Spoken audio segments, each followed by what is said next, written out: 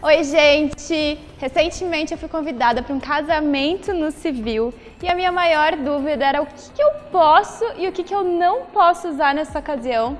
Então, no Pronta para Festa de hoje, by Dopes, eu vou mostrar para vocês várias dicas do que, que a gente pode e o que, que a gente não pode usar nessa ocasião. E se você ainda não é inscrito aqui no canal, aproveita a vinheta, se inscreve e vem ver. Stay, stay, stay,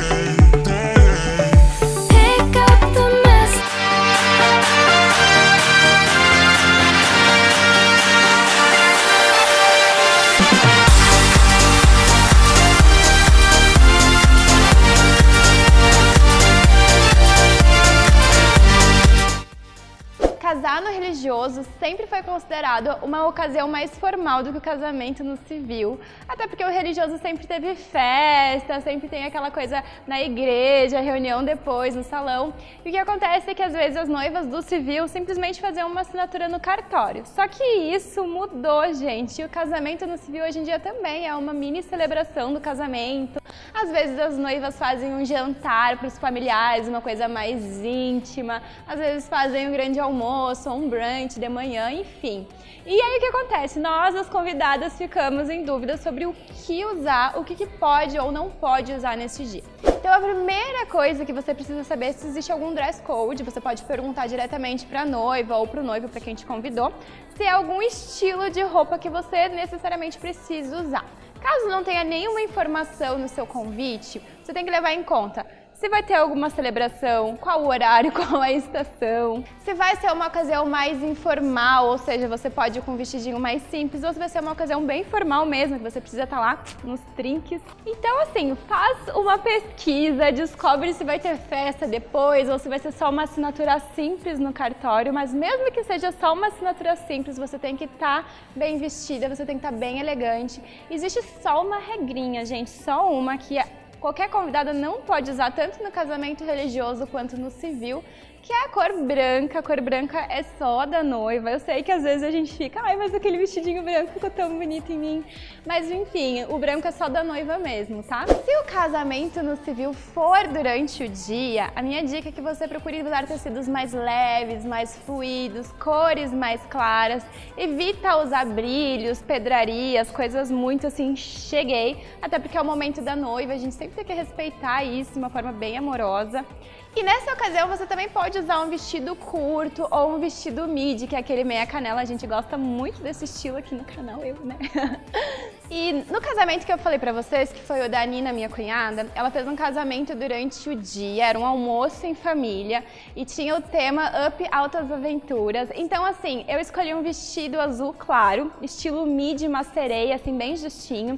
Por sinal, foi uma das fotos mais curtidas do meu Instagram, foi a desse vestido, que é aqui da Dopes. Esse vestido é lindo, veste super bem. E eu escolhi uma cor que combinasse, então, com a decoração, com o clima, com o ambiente e super fechou, gente gente. Então, se o casamento no civil que você foi convidada for durante o dia, a minha dica é que você use então cores claras como o rosa, o lilás, o amarelo, o azul clarinho também que eu usei, que ficou super lindo. E outra dica que eu gosto muito e que tá muito em alta, eu acho que combina muito com essas ocasiões, são os vestidos florais, como esse que eu tô usando agora aqui no vídeo pra vocês. Esse vestido, ele é um vestido super leve, colorido, alto astral e combina muito com essas ocasiões, você não vai estar tá nem vestida demais e nem vestida de menos, você vai estar tá no ponto ideal. E se você está olhando meu vestido floral, longo, maravilhoso, e está se perguntando se pode usar um vestido longo no casamento no civil, a resposta é sim, você pode usar, não tem problema. Lembrando apenas que um casamento no civil não é como uma grande festa, então você não precisa usar um look tão chamativo, pode ser uma coisa mais discreta. Eu acho que esse modelo aqui tá perfeito, ó, gente. Hum? E no caso de ser um casamento mais informal, uma comemoração mais simples, como eu falei antes para vocês, não necessariamente você precisa ir com um look simples, né? Você pode ir com um vestidinho preto básico, eu acho que os pretinhos sempre salvam a gente nessa ocasião. Ou você pode usar um terninho, ou você pode usar simplesmente um macacão preto ou de uma cor que você goste, enfim. Brincos e acessórios, no caso de um vestido mais simples, são essenciais porque eles dão um tchan no look Então anota aí. No caso de uma celebração noturna, a noiva vai fazer assinatura no cartório, depois ela vai fazer uma mini festinha ou uma comemoraçãozinha, aí sim cabe usar um vestido longo, cabe usar um vestido mais elegante, você pode se encaprichar no seu look. Pode apostar em pedrarias, em brilhos, os brilhos estão liberados com moderação, tá? E aí você pode apostar também em cores mais escuras, como preto, o azul bi, que super combina, vermelho, marsala também, que tá super em alta. Você pode usar cores mais fortes. E se você tiver dúvida, nossa, será que o meu look tá demais? Será que tá muito over?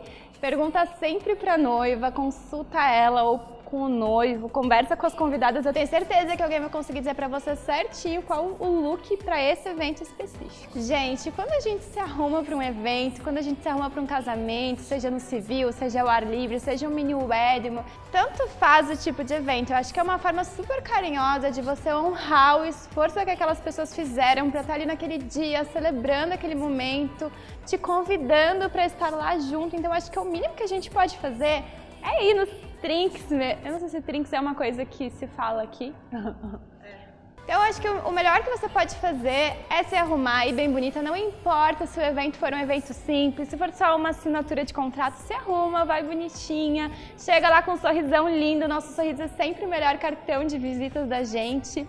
Se você tá na dúvida, ah, mas Beto, eu não tenho tempo para alocar um vestido ou para comprar um vestido, gente, tenho certeza que todo mundo tem um pretinho básico em casa. Na dúvida, vai com seu pretinho básico. Se você ainda não tem esse vestido, trata de ter um pretinho que te salva em todas as horas, tá? Com o acessório certo, fica lindo.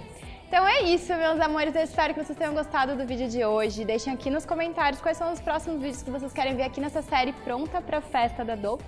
Um beijo e até os próximos vídeos.